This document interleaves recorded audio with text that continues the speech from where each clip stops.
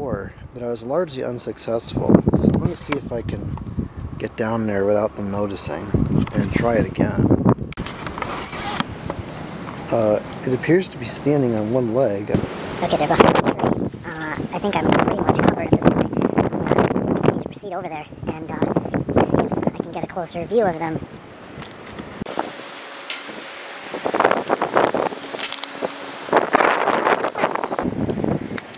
Pretty windy today. It's nice to see this not frozen.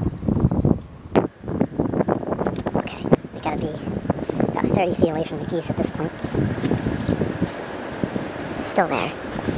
Hmm.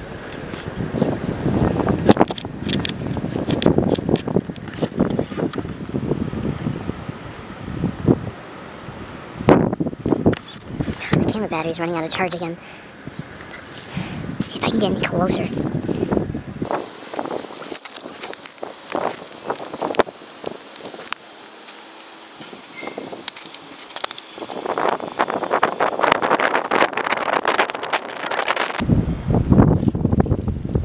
Okay, I'm only about 20 feet away from the geese.